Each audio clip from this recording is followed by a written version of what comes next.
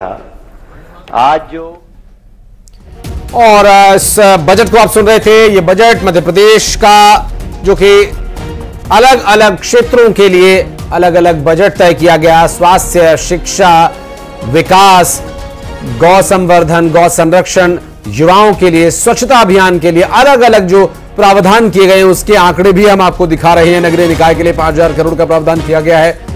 प्रधानमंत्री फ़सल बीमा योजना के लिए 2000 करोड़ के बजट का प्रावधान किया गया है। स्वास्थ्य के लिए इक्कीस करोड़ रुपए के बजट का प्रावधान किया गया। 22 नए आईटीआई शुरू किए जाएँगे जो युवाओं को न सिर्फ़ प्रशिक्षित करेंगे, बल्कि उनके आगे के भविष्य को भी उज्जवल बनाने के लिए ये कारगर सिद्ध होगा। फ़िलहाल आपको बता दें कि इस वक्त जिस तरह से मध्य प्रदेश में अभी बजट आया है, इस बजट के बारे में और विस्तार पूर्वक चर्चा भी करेंगे। बजट को लेकर आगे की स्थिति क्या रहेगी? बजट से जो प्रावधान तय हुए हैं, उनको धरातल पर उतारने के लिए सरकार किस तरह से काम करेगी? और ये जो बजट तय किया गया है, ये प्रदेश के लिए हितकारी सिद्ध हो, प्रदेश की विकास की जो गति है, उसे बढ़ाने में कारगर सिद्ध हो, इसके लिए भी यहाँ पर लगातार प्रयास सरकार की तरफ़ से किए जाते रहेंगे।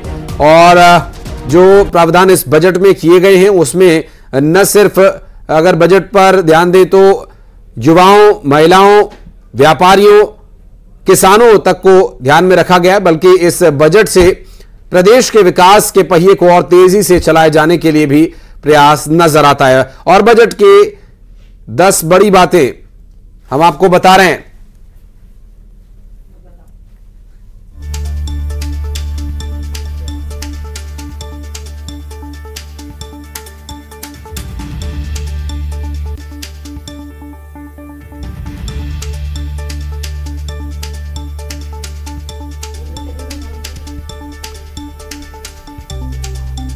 कुल बजट जो तीन लाख पैंसठ हज़ार करोड़ का रहा, उस बजट से जुड़ी दस बड़ी बातें मध्य प्रदेश के बजट से जुड़ी दस बड़ी बातें हम आपको बता रहे हैं। सोलह फ़ीसदी बजट पिछली बार से बढ़ाकर यहाँ प्रस्तुत किया गया फ़सल बीमा योजना के लिए 2000 करोड़, चूँकि एक कृषि प्रधानता मध्य प्रदेश में जो अब तक बनी हुई है और कृषि आधारित क्षेत्र है, बड़ा ग्रामीण क्षेत्र बड़ा है, वहाँ किसान जो अन्न उगाते हैं, उन्हें कई बार मौसम की मार झेलनी पड़ती है। कई बार अलग अलग कारणों से उनके साथ जो दुर्घटनाएँ होती हैं, उसका जो नुकसान है, उसकी भरपाई के लिए फ़सल बीमा योजना किसानों के लिए बड़ी कारगर, बड़ी राहत देने वाली अब तक साबित होती आई है और ऐसे में उसका जो बजट है, वो 2000 करोड़ का रखा गया है। गौशालाओं के लिए करीब 250 करोड़ रुपए रखे गए हैं। वन पर्यावरण के लिए 4725 करोड़ रुपए का प्रावधान यहाँ पर किया गया है। चूँकि प्रधानमंत्री नरेंद्र मोदी के द्वारा भी कई मंचों से पर्यावरण के संरक्षण और पर्यावरण के नज़दीक जाकर उसके दुरुपयोग के बजाय उसका सदुपयोग किए जाने के लिए प्रेरित किया जाता रहा है।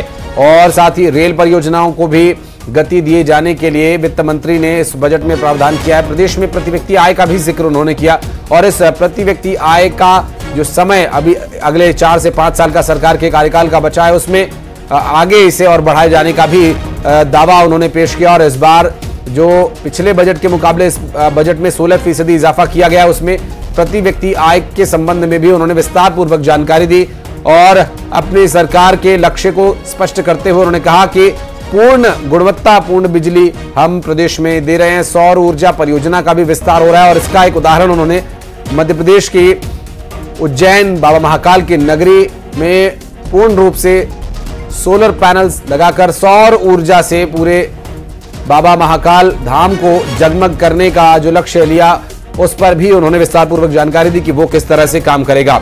साथ ही केन बेतवा लिंक परियोजना के लिए भी राशि जारी की गई है और ओंकारेश्वर धाम में भी 100 मेगावाट का सोलर प्लांट लगाए जाने का ज़िक्र उन्होंने किया। अड़तालीस लाख हेक्टेयर भूमि पर हेल्थ सेक्टर पर सरकार को विशेष रूप से ध्यान देने के लिए जो लगातार आग्रह किया जा रहा था, उसका भी इस बजट में ध्यान रखा गया है कृषि को लाभ का क्षेत्र बनाने की योजना है। हमारी सरकार का प्रयास है लोग कि आगामी कृपया अपने पाँच सीट वर्षों में पर जाएँ। वार्षिक बजट के आकार लोग किया जाएगा। प्रबंधन एवं आर्थिक गतिविधियों के विस्तार से प्रदेश में प्रति व्यक्ति आय में निरंतर वृद्धि हो रही है। प्रचलित भाव पर वर्ष 2023-24 अग्रिम अनुमान अनुसार प्रति व्यक्ति आय एक लाख बयालीस हज़ार पाँच सौ पैंसठ रुपये है। उल्लेखनीय है कि वर्ष 2003-4 में प्रति व्यक्ति आय मात्र तेरह हज़ार चार सौ पैंसठ रुपये थी जो बढ़कर अब लगभग ग्यारह गुना हो गए। कि उन युवाओं की बात जो करते हुए न्याय करे ये मेरा आपसे अनुरोध है माननीय मुख्यमंत्री जिसके एक अंश को माध्यम अनुरोध है सहित आप परियोजना के रूप में विकसित किया जाएगा। करा के ऊर्जा क्षेत्र के लिए वर्ष दो हज़ार चौबीस पच्चीस में रुपये चालीस हज़ार चार सौ छह करोड़ का। प्रावधान है वो ये छवि आगरा क्योंकि चौबीस चौबीस रुपये एक हज़ार छियालीस करोड़ प्राथमिक शाला एवं दो किलोमीटर से ज़्यादा दूर रह रहे अन्य कक्षा के बच्चों के लिए परिवहन व्यवस्था लागू की गई है। शिव राय स्कूल विद्यालय के लिए दो हज़ार सात सौ